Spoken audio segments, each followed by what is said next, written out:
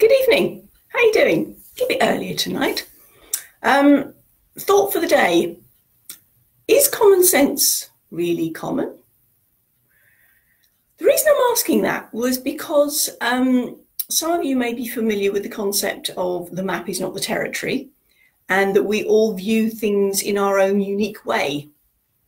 Um, I kind of came across this very clearly today with um, somebody who has a a very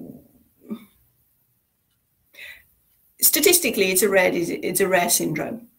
And um, but there are a number of people who as people do if they have a um, something that is recognized there's a self-help group around it. So so this person has got a number of, of contacts around them that um, are also um, similarly diagnosed and it's commonplace for them to experience the, the issues around this, this particular condition.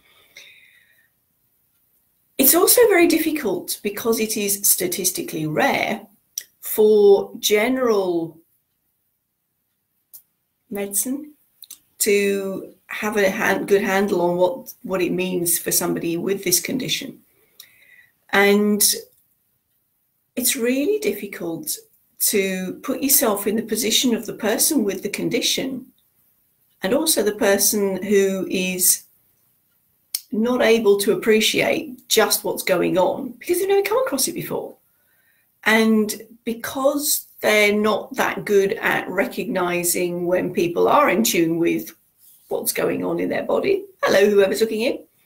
Um, it's a bit tricky for them um, because I can I can sit on the sidelines and see both sides of uh, the, the coin. Um, those of you who work with me for a while will know this particular picture. This is something I use a lot, uh, or certainly used to use a lot um, with my clinical work with the adults with autism, to point out that it's not just a black and white thing. There are different ways of looking at things.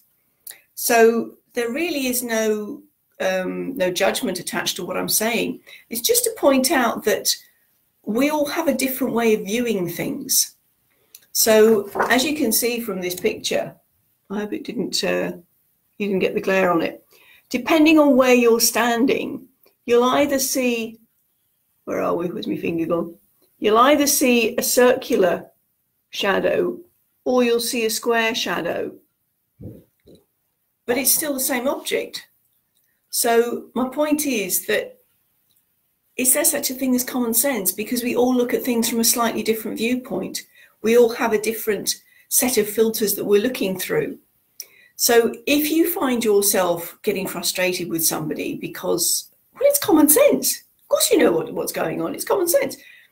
Just take that step back for a minute and think, are they actually seeing the world in the same way that I do? Well, no, they're not because they haven't got the same life experience as you've got. They haven't haven't had that that lead up, all those experiences that have shaped you, so that you see the world the way you see it.